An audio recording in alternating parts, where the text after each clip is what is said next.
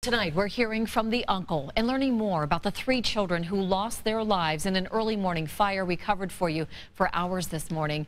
Family members gave us these pictures. Take a look at your screen. You'll see 11-year-old Braden Tanner, 7-year-old Brianna Tanner, and 19-month-old Bentley Fields. The Arkoma fire chief in Le Flore County told Fox 23's J.J. Burton he believes the fire started in the living room. He has these new details.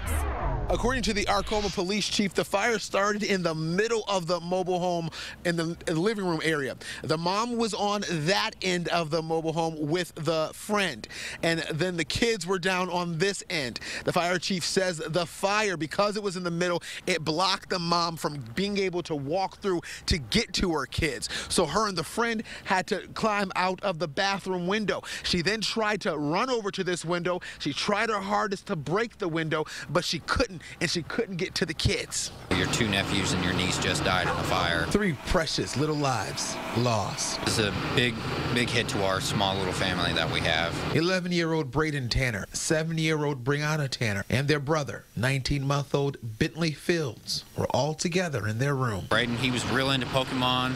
You know, he loved Pokemon games. He loved the card. He loved the cards. You know, he was a real good child. He was very intellectual, very smart young boy.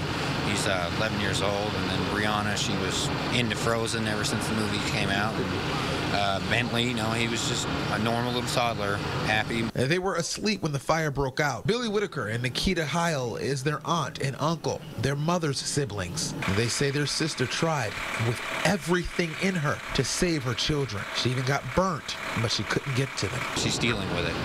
About the best that anybody could deal with being told that their children has passed away. The family is waiting for investigators to determine the cause of the fire. According to Billy, his sister didn't have life insurance for the kids. So the family, he says, is going to start a GoFundMe account so they can give them a proper funeral. Reporting in Arkoma, covering news that matters. JJ Burton, Fox 23 News.